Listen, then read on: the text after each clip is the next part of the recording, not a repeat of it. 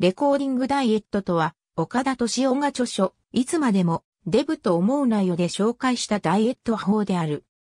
2006年4月頃より、岡田敏夫が実践、開発したダイエット法の一つで、日々摂取する食物とそのエネルギー量を記録することで、自分が摂取しているエネルギー量、食事の内容、感触などを自覚し、食生活の改善につなげるというものである。岡田は体重がピーク時で 117kg もあり、かつて伊集院光と番組で共演した際は、どちらがどちらかわからないと言われるほどの滑腹の良い体格だった。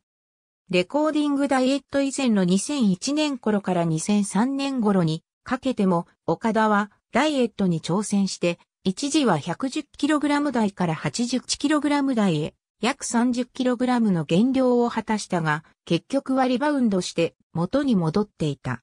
その後、2006年より始めたダイエットにより、1年余りで体重を 117kg から 67kg へと 50kg 減量、体脂肪率を42%から17%へと落とした。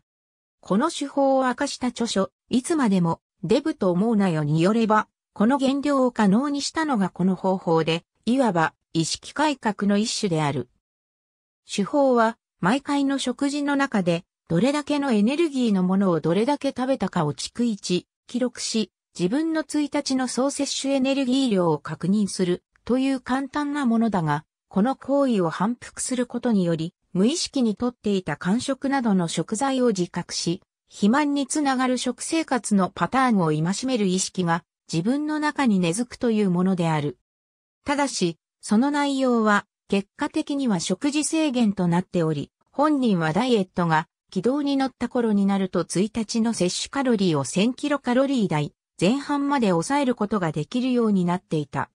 考案者は自分だと岡田本人が主張しているが、レコーディングダイエット的なダイエット法は以前から存在し、岡田自身もそれを認めている。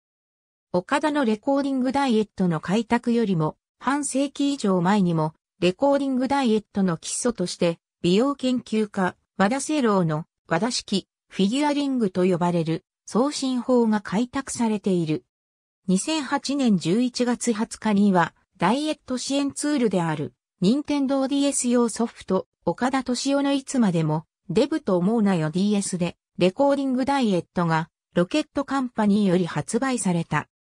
2007年10月、食べたものとエネルギー量をメールで送るだけでダイエット記録を作成するという趣旨の日本国内のウェブサイトサービス、e メモダイエットに対して著作権の侵害を根拠にサービスの停止を求めた。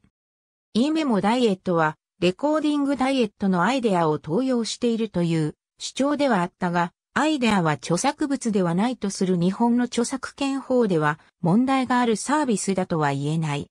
しかし、このクレームを受けた開発側の e メモプロジェクトは同年10月17日にサービスを停止することとなった。同プロジェクトは事前のプレスリリースでも岡田の名前及び著書いつまでもデブと思うなよを挙げてこれに着想を受けて開発した旨を発表していたが岡田側に挨拶をせずに公開した経緯があった。